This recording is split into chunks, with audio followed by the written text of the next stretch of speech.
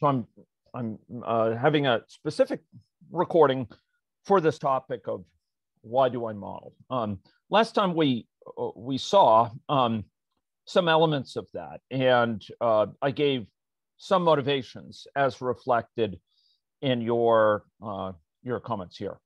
Um, we we saw uh, a lot within that presentation, including different you know sorts of models. Uh, we we talked like about models that are aggregate that summarize the state of the population as a kind of a vector of counts. Uh, the number of people are susceptible, the number exposed, the number infected, or as individuals. And we'll be going into this in great detail soon enough, where each individual is governed as a situated actor in a given environment with limited perception around them, enmeshed in networks and in geographic space often. Um, and I talked about a few of many uses that models um, help advance um, uh, when, when we use them. But I want to dig into to this question about why do I why do I model um, and um, uh, and and hit on some of the really big points that I hope will explicate some of the discussion we've just had. Um, so one reason I I dynamically model, I model with these these models that are simulation models over time, is to learn more effectively about the world. Um, it's to to more quickly identify cases where my understanding is off. Another is to to, to make my assumptions shared and explicit so that they can be um, critiqued. This can start even with the most basic, what's called a model map, where we, um, where we sort of sketch the relationship between different things. Those who took my CMPT 371 course may recognize this as what's called a causal loop diagram. And here we put in factors um, um, that are in some sense have polarity, bigger or lower amounts and we have links between them, which are absolutely critical. Um, it's about the interconnections that drives, um, you know, a system's behavior to differ from its pieces. It's the interconnections between the pieces, and we we put polarities associated with that. And based on these, we reason about the polarities for the system as a whole and what are called loops or, or feedback loops for them that are of central interest, as we'll see in in the system dynamics uh, sphere of modeling. Um, uh, and you know, in other cases, we put down our assumptions. This is for an agent-based model about how transplants work and you know the types of dialysis that people can undergo and different levels of risk is something they're in and the stages they go through to be assessed for a transplant. We put our assumptions down in a model. Um, uh, this is in a different area for opioid abuse, for example, and we might characterize a person when it comes to motivations for action as being in one of a set of states here that are formalized in what's called the trans theoretical model or be, uh, stages of change model um, for, for behavior change. Um, and often we do this in a, in a visual way as the very first person spoke up so that we can communicate to others and the reason that's so important is this model captures my assumptions about the situation. It captures kind of a an operationalized theory, how I think the world might be operating. Um, I'm, I'm sort of taking some stance about this and saying, well, this is my working hypothesis. Often, you know, this this is my best guess to how it works. And by putting it in a visual form, I can get others to critique it and actually help build it. These are from one of many exercises that we've run with, with stakeholders to help contribute to building models or help criticizing them, um, help pointing out gaps. This is just operating with the model. We're not getting into simulation quite yet, but they're criticizing the structure. Where it gets really interesting is when you can also show them the simulation outputs from the model and say, does that jibe with your experience? Is, is what's coming out of this model which comes out of the logical consequences, the consistent understanding coming from this model. Is that does that match up with what you see as a system stakeholder? These are leading experts from around Australia gathered to do exactly this in the diabetes and pregnancy area and, and subsequent diabetes. Um, and so, you know, they're they can be used to give critique on the structure of the model, the assumptions, but also the behavior. And if both don't line up, we've got something that we have to fix. There's something we've learned. It's not a failure of the model, it's a success of learning that we've spotted this inconsistency between what the model gives and uh, what um, what's known about the world, the empirical data. Um, so in models, we're one of the big big reasons we use them is we want to simulate, and to do so, we need to make our assumptions precise and thereby testable you know, I argued last time, it's not so much we have a crystal ball, but it's more like we have a prosthetic leg, right? It gives us nearly full function and be able to reason through the consequences of our models, um, of, of these sort of complex models, uh, by, by offloading that from our heads into a computer, much like uh, an artificial leg uh, allows us to, even without a, a, you know, a functioning left, left leg to, um, to operate with nearly full functionality. So models here are kind of, as my colleague Geoff McDonnell um, in, in Sydney, Australia, um, comments, models are thinking prostheses. Um, uh, they're, they're, this is a prosthesis, right? A cane, a crutch, a, a, an artificial leg, for example. And models are like cognitive um, prostheses. They help us learn more quickly by thinking through um, consistently, quickly, and thoroughly uh, the degree to which our theories match up with the empirical evidence. Um, and um, that's it's hard to do when we're informal um, inside our heads, but a model lets us take a theory, a theory captured in something like this, and run it forward and say, hey, does that jive with what we see empirically? Does that jive with the data we have? Does that jive with observations for people in the trenches? You know, these sort of folks here, does that jive with their experience? Throughout Australia by observing, you know, the outcomes of people with who experience diabetes and pregnancy. Uh, that can allow us to more quickly figure out where our theory is off base. Where does it match? Where is it different? You know, to what degree does it line up and in what areas is it off base? So a given model will often have many lines of output that we're trying to jibe with empirical data. And if there's something off, even in one area of the model, often it ripples through to discrepancies in other areas.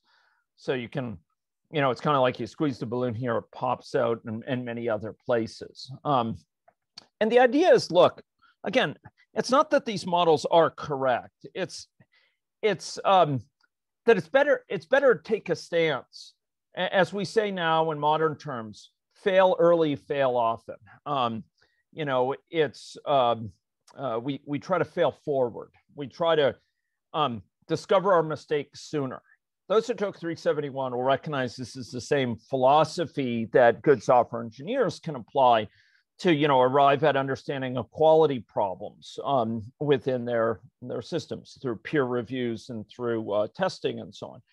Um, it's better to you know um, put together uh, something that will uh, be our, our best understanding, get it quickly for stakeholder feedback in an agile way, get it quickly for test into testing and peer review to find a problem. With a model, we have this systematic way of, of replacing confusion by learning by, by taking what our understanding is, putting it into a model and running it and saying, hey, does that add up? And having people look at the model structure and say, no, that you're missing an asymptomatic state, or, you know, wait a minute, we can find people who don't have symptoms by mass testing. You're missing a way of diagnosing people without symptoms. You can't assume people without symptoms are undiagnosed, et cetera. Um, so we can get challenged.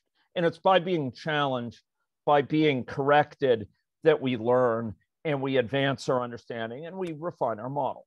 Um, so models help us sort of spot our our cherished prejudices that just ain't so, um, and to advance our our thinking. Um, so even putting forward a poor model initially gets us somewhere because we we learn, and then we work towards a more savvy model, right? Um, Francis Bacon, the, the famous uh, philosopher and, sci- and, and philosophy of science pioneer, once commented truth will sooner, sooner come out of error than from confusion.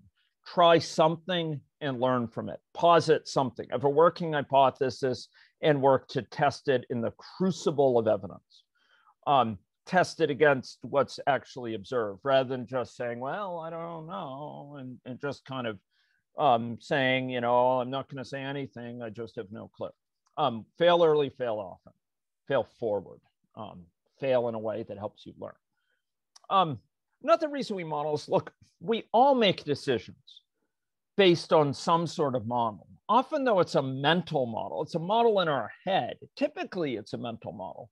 It's a model of how we think things work out there. And um, and by for the really tricky questions, the gnarly questions, the wicked problems, and, and problems that are complex, if we use computational models, we can challenge and sharpen those mental models. So we're always, you know, iterating, but if we have a if we have a simulation model, we can more quickly test and, and debug our mental model. And we can undertake action in the world and see if the results jibe with our expectation. And this is exactly how our models are being used day in, day out, uh, you know, since the inception of the pandemic um, for our decision makers. Um, sometimes in the Ministry of Health, always in the SHA, the, the, the health authority, um, day in, day out, testing what the model anticipates and testing out what's actually observed. We undertake a new strategy, a mass vaccination campaign for boosters, rolling out among kids. We look what we expect from, you know, from the model and compare it with what we see from the world, and we adjust the model assumptions day in, day out, week after week. And that's how we learn and we've had similar strategies with worldwide stakeholders for our COVID-19 models.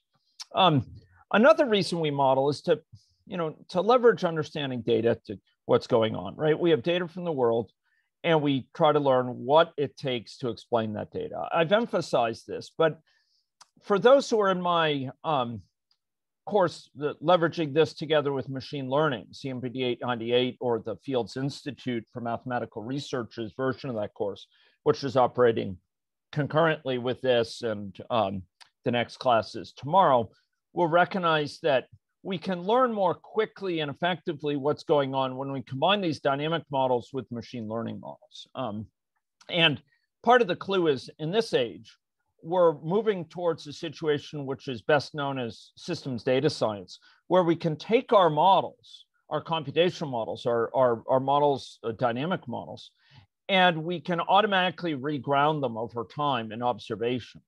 We can automatically update their assumptions. We can automate some of that learning process so the model is sharpened in its understanding and it's kept current with the latest evidence and able to look forward, taking into account the current situation as best the data um, allows it to infer together with model assumptions.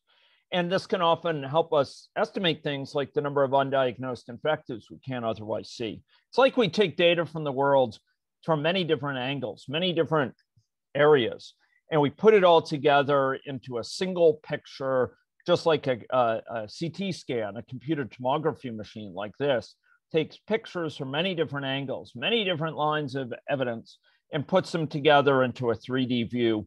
We can kind of put together a picture of what's going on with distributions over the number of people infected or the number of people recovered at a given time. So we can kind of guesstimate how many people are in each of these states in a way that as new data comes in, it refines it. Um, that's not covered well in the course, except, um, you know, maybe in a last lecture or two, I'll, I'll touch on that because we're in a, a whole new era in terms of our ability to undertake that. And some people in the class know because they're involved with the use of these sort of models on a daily basis to inform decision makers around Canada um, about the current situation. How many people are secretly infectious? We haven't found them yet. How many people are still exposed? How many people are there out there who are asymptomatic, et cetera? Um, but another big reason that we modeled, which was mentioned by someone in the chat, is look, we model to ask what if questions, in particular questions about our choices, our decisions. We want to understand as best we can what would the impacts of different choices be in terms of certain outcomes. Now, you have to be careful because, as Samaya um, pointed out, like you want to be careful about doing this right off the get-go with a model. If you if you don't have some confidence in the model, and you say these are the outcome of the choices, we could rush off and do something rash. Just like if we thought in our head in some musing way about what the choices are without grounding it in a lot of evidence and we rushed out to make a decision, we might be in a bad way. We might we might make mistakes. But once you develop conviction in a model, that it accounts for a lot of different patterns, that it stands the test of critique of, of those who are most familiar with the system, those working at, as we say, at the coal face in the in the uh, in the world, then we can start to use it to kind of uh, you know probe what would the what would be the outcomes be of intervening here in the system or here of rolling out an expansion to our our testing of using antibody um, treatments for early stage symptomatics of of putting in place uh, a more aggressive contact tracing of instituting you know across all smartphone users in the province uh, automated contact detection with someone who's known to be an infective um, you know, diagnose the effects of roll of much faster rollout of childhood vaccines or requiring all kids in school 17 or less to be to be vaccinated. We could ask these sort of questions with a model. And um, while the results are imperfect, they may be a lot better than just guessing off of our reasoning informally um, off the seat of the pant, our pants, so to speak. Um, so when trying to rely on informal reasoning, often it falls back down to politics and guesswork and you know people are are very far off if you start to use a model you're coming closer and you can correct the model when you're off base and learn learn learn faster and faster and use that to project forward um, so we could say you know if we could lower the the acute crowding situation in northern communities um, how would that impact the number of cases being seen across the province, for example? Or if we could help um, vaccinate all homeless individuals uh, who are willing to be vaccinated quickly, how much could we lower not only the spread of infection in homeless shelters, but the broader spread of infection to others in the community? And we have to be careful. Um, um, just was as was mentioned earlier with uh, um, uh, comments, we want to use the model for the right purpose. We, we want to ask, look, um, uh, we want to ask about questions that it's fit to use for use, um, that it's a good match in terms of our confidence and the precision of it if we're very early on, maybe we just want to confine ourselves to ask things like which interventions will tend to yield effects faster than others, um, or which might yield effects that are largest uh, in, in some realistic way, which which are at least are competitive in that regard. But you know, as you get more evidence, you might you might want to um, ask more detailed questions, and I'll be uh, with you in just a moment, Moise. Um, you know, will this uh, change yield a net gain or loss? Um, is, is intervention A likely to yield a bigger gain than B or a lesser gain? These take more data. They take more precision in the model. They might take more confidence in the model. Um, but uh, they start to address uh, some very practical questions. Um, and, you know, what what's most challenging and often infeasible would be to say, look, given an intervention, given that I do X, how many people within 1% error am I going to see on each day? Generally, that's a fool's errand. Like for COVID 19, the number of infected people day to day, much less the number of reported cases, you don't know how many are going to get off their duff and wait three hours in line for PCR testing, or if they get you know, a positive test and how many are going to call in and stand by the long wait times to report their positive test result.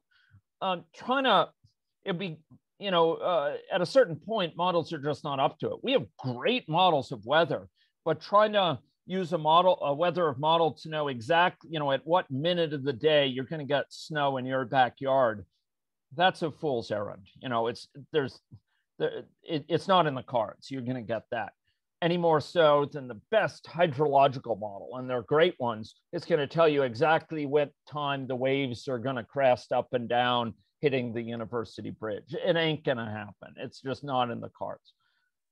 Does that mean it's not useful? No, it may be super useful to know, you know, roughly in what weeks the flooding risk is worse for uh, White Swan Drive across the river. Um, but it's not going to tell us, you know, the exact uh, the exact minute when a certain house uh, basement is going to uh, develop an inch of water.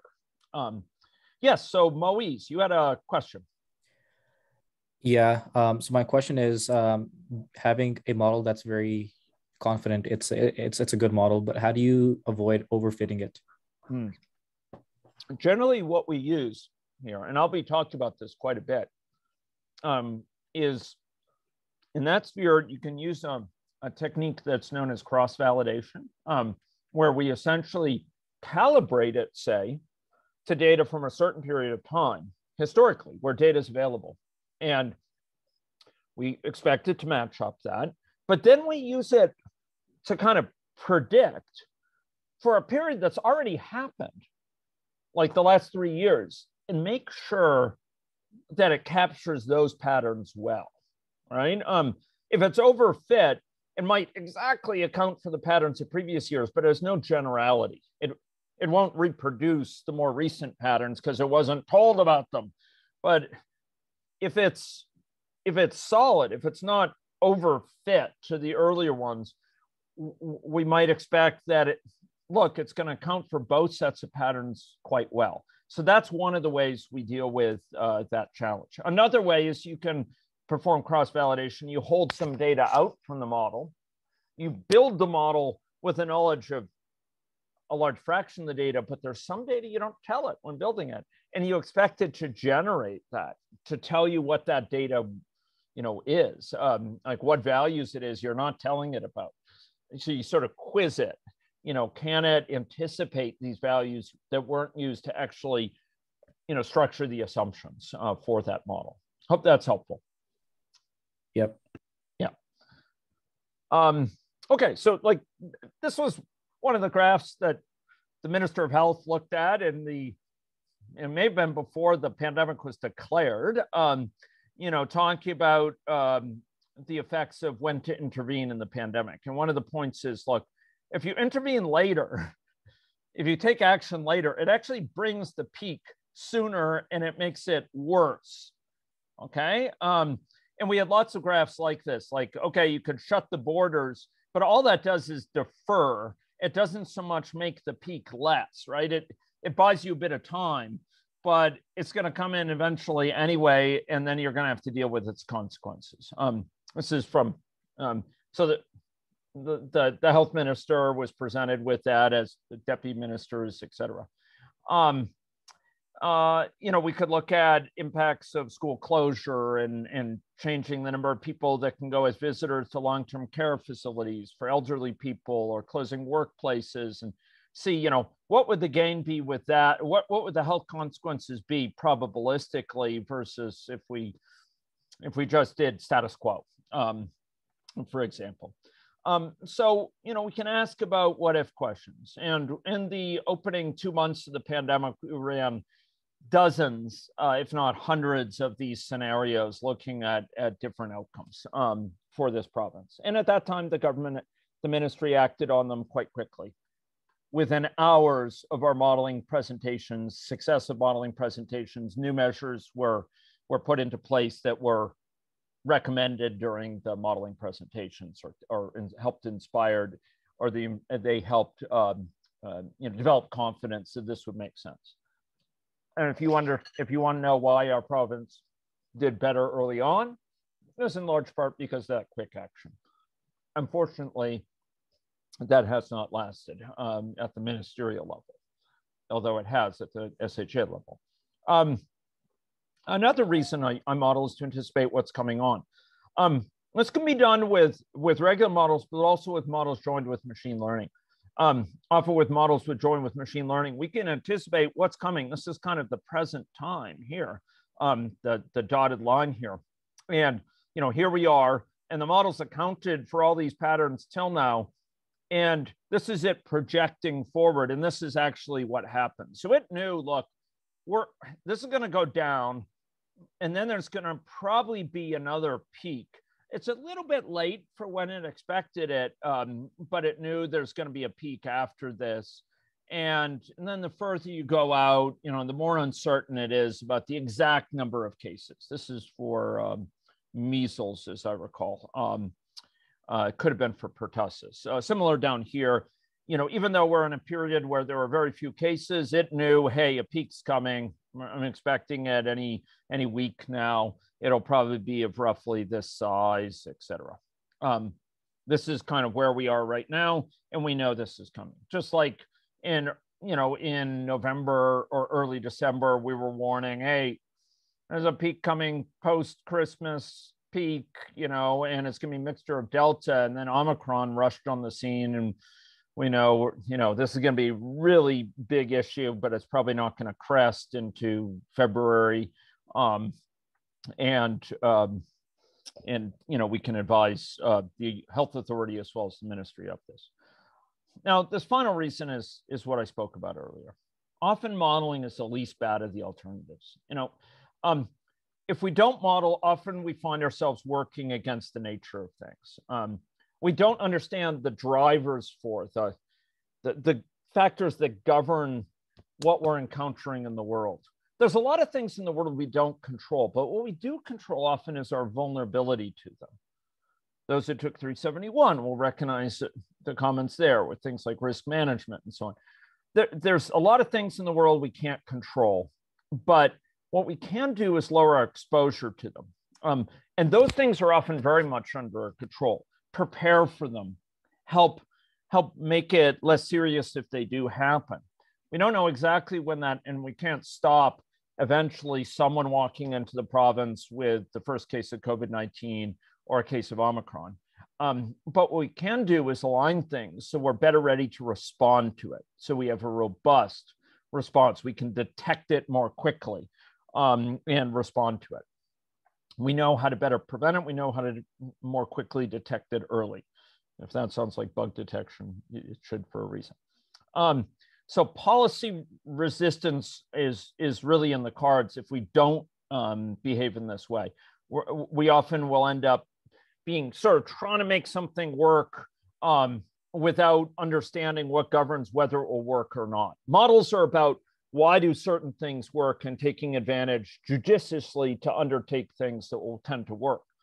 If we if we don't understand how the world works we may be beating our head against a wall um, or you know working at cross purposes with the way things actually end up.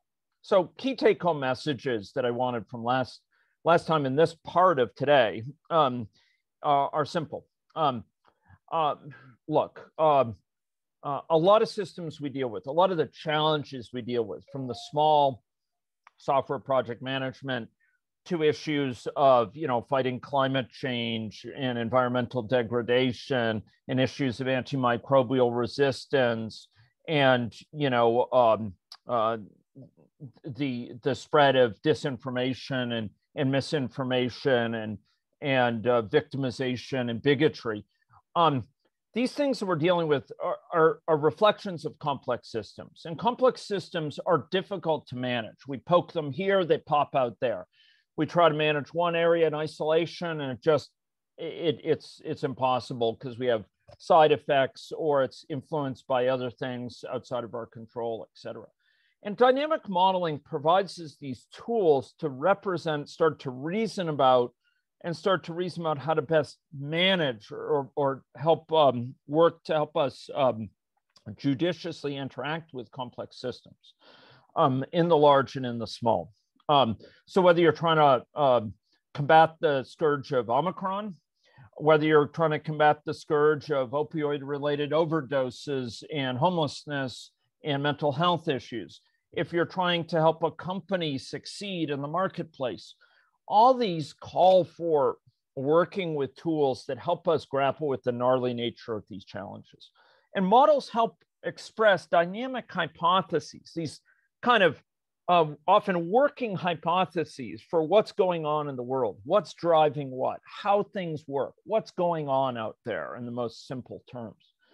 Um, and they help us understand better what is going on by correcting our misunderstandings, finding that accounting for it this way just doesn't add up with the evidence. Uh, doesn't add up with the, the findings of those who have expertise by living and breathing in that system, by working in that system day in, day out. Um, and for many models, we bring in people who are experts, um, you know, so leading clinicians and uh, epidemiologists, uh, people who who uh, work on the front lines of nursing and and um, are running the ER system across the uh, the country, like James Stempien, a key key contributor to some of our modeling projects. But in other cases, we bring in people who might not even have a high school education, but are, have lived experience of this, you know, lived experience of, of living as a homeless person with addictions issues and finding stigmatization and finding the barriers through that. And we can capture these things in the models. These models are not just technocratic instruments.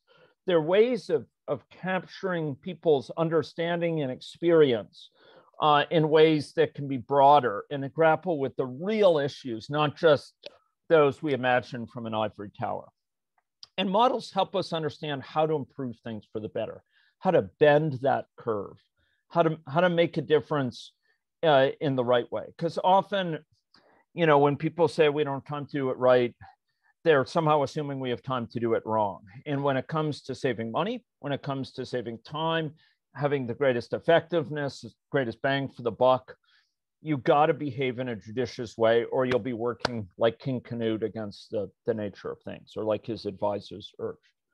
Models are, are specific to purpose. There is no one model of COVID 19 to rule them all. If we want to understand uh, long COVID effects in, in kids, um, uh, we'll often end up using a, a, rather different model than if we wanted to understand how to lower the burden of of uh, COVID 19 infection in long term care facilities or in homeless shelters.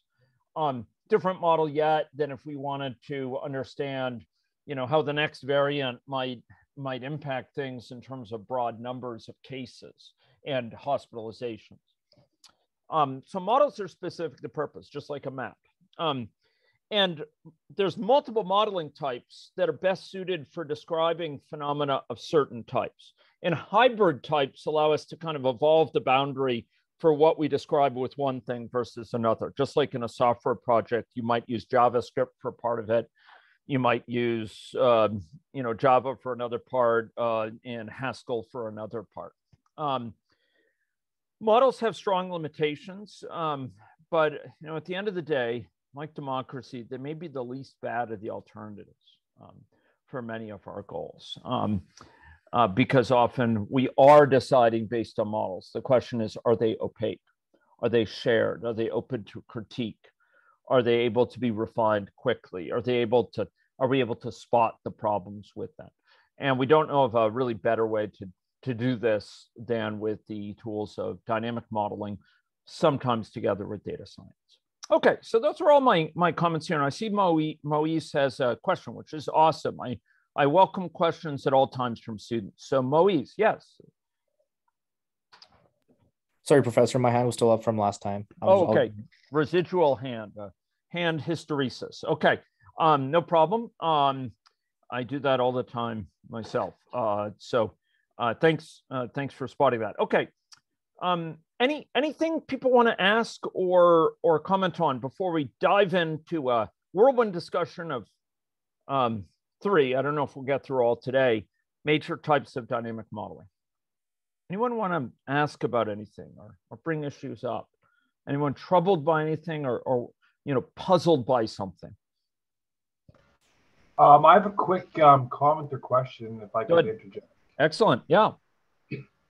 Um, I guess it just uh, has to do with the AnyLogic software. the mm-hmm. syllabus says 8.7.0.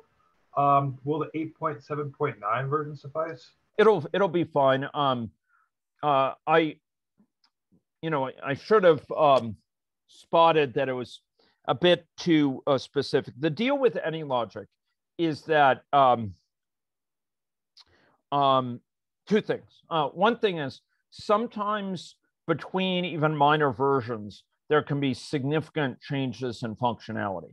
Um, uh, and uh, so, um, you know, taking care to specify a certain version uh, can sometimes be important.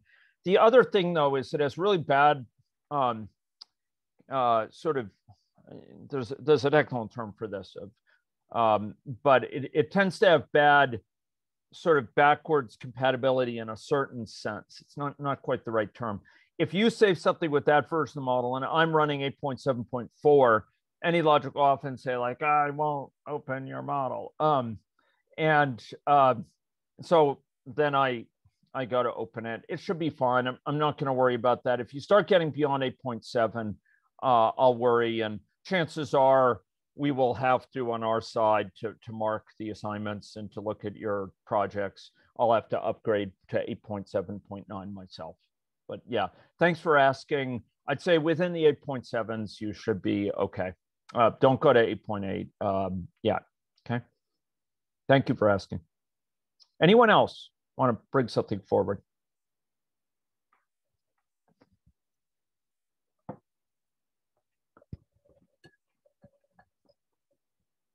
No one? Okay. So